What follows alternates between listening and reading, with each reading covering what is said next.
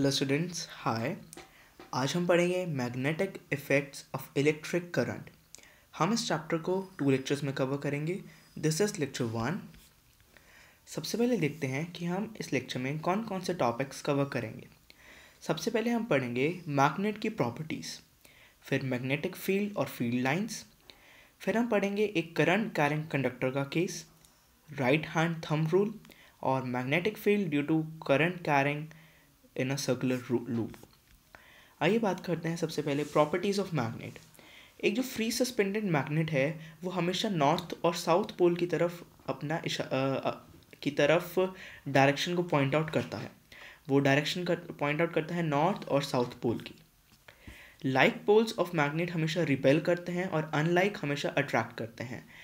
जो electric current है वो मैग्नेटिक इफ़ेक्ट प्रोड्यूस करता है और इस मैग्नेटिक इफ़ेक्ट को हम कैसे कहते हैं इलेक्ट्रोमैग्नेटिक इफ़ेक्ट और जब एक कंपस इस electric sorry when a compass is brought near a current carrying conductor तब जो निडल होगी कंपस की वो डिफ्लेक्ट होती है because of flow of electricity इससे हमें पता लगता है कि जो इलेक्ट्रिक करंट है, वो एक मैग्नेटिक इफ़ेक्ट हमारा प्रोड्यूस करता है।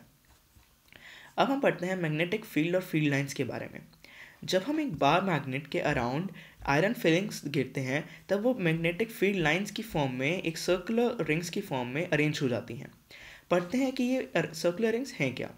The influence of force surrounding a magnet is called magnetic field जो इमेजनरी लाइंस हैं मैग्नेटिक फ़ील्ड की around the magnet is called field line और मैग्नेटिक फ़ील्ड लाइन्स अब फ्रेंड्स मैंने आपके लिए एक वीडियो सर्च करी है। इस वीडियो से आपको पता लगेगा कि एक्चुअली प्रैक्टिकली ये होता कैसे है।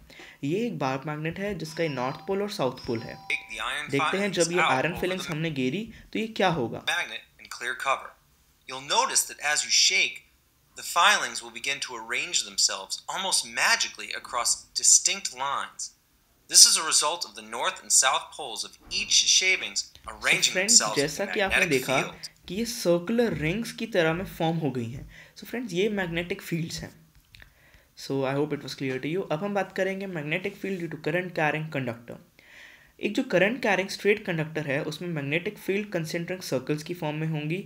और अगर जो करंट कैरिंग कंडक्टर है अगर हम उसको वर्टिकली सस्पेंड करेंगे तो इलेक्ट्रिक करंट फ्लो होगा from south to north pole और इस केस में the direction of magnetic field will be anti clockwise right hand thumb rule एक बहुत इंपॉर्टेंट रूल है फ्रेंड्स इसके अंदर जो डायरेक्शन होगी मैग्नेटिक फ़ील्ड की in relation to the direction of electric current through a straight conductor can be depicted by using right hand thumb rule friends इसका meaning क्या है?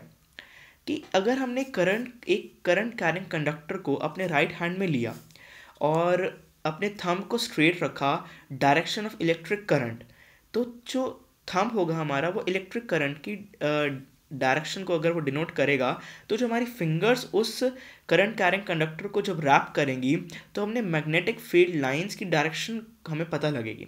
फॉर एग्जांपल फ्रेंड्स ये एक मेरे हाथ में एक करंट कैरिंग कंडक्टर है और इसका जो करंट इसका जो करंट है वो आ, हमारा अपवर्ड फ्लो कर रहा है.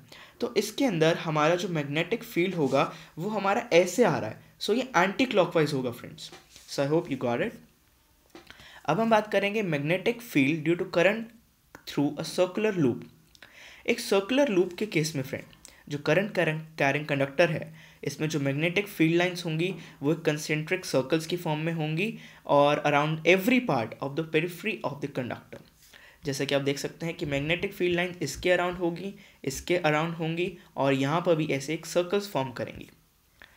Since the magnet magnetic field lines tend to remain closer जितना हम पास रहेंगे उतनी मैग्नेटिक फ़ील्ड हमारी स्ट्रॉन्गर होगी। और on the other hand the magnetic field lines would be distant from each other when we move toward जैसे जैसे हम पास आएँगे वैसे वैसे वो दूर हो जाएँगी from the current carrying loop so friends I hope everything was clear to you lecture two में हम बात करेंगे इलेक्ट्रोमैग्नेटिक इंडक्शन और उसकी एप्लीकेशंस जो कि इलेक्ट्रिक मोटर और जनरेटर हैं, हम उसके बारे में पढ़ेंगे। Please watch have a nice day